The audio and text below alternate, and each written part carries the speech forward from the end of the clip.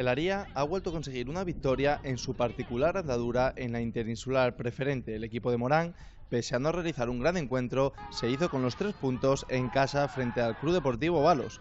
De esta manera, la escuadra norteña se vuelve a situar en la zona de arriba, aunque tendrá que mejorar la versión ofrece lejos de Lanzarote. Los problemas que los jugadores encuentran a la hora de afrontar los compromisos a domicilio por motivos laborales o personales hacen que el nivel de la baje considerablemente.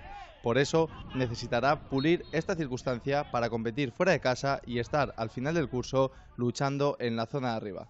Por su lado, el San Bartolomé ha vuelto a conseguir un punto frente al Real Club Victoria, que sirve para seguir sumando, pero desde luego las sensaciones no han sido del todo buenas en este arranque liguero. El equipo de Falo tendrá que ser más efectivo en sus compromisos para salir de esos puestos de descenso que ocupa a día de hoy. La próxima cita será en el Municipal de San Bartolomé, donde se medirán al San Pedro Martín el equipo de Falo tendrá que ser más efectivo en sus compromisos para salir de esos puestos de descenso que ocupan a día de hoy. La próxima cita será en el Municipal de San Bartolomé, donde se medirán al San Pedro Mártir.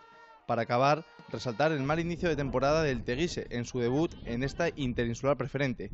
Tavo García y sus jugadores aún no saben lo que es puntuar en la categoría, ya que este domingo volvían a caer por la mínima frente al Club Deportivo San Antonio. Tendrá una nueva oportunidad en la cuarta jornada, donde se enfrentarán a domicilio al Club Deportivo Balos, para intentar mejorar esa última posición que ostentan hasta la fecha y no descolgarse en la lucha por la permanencia.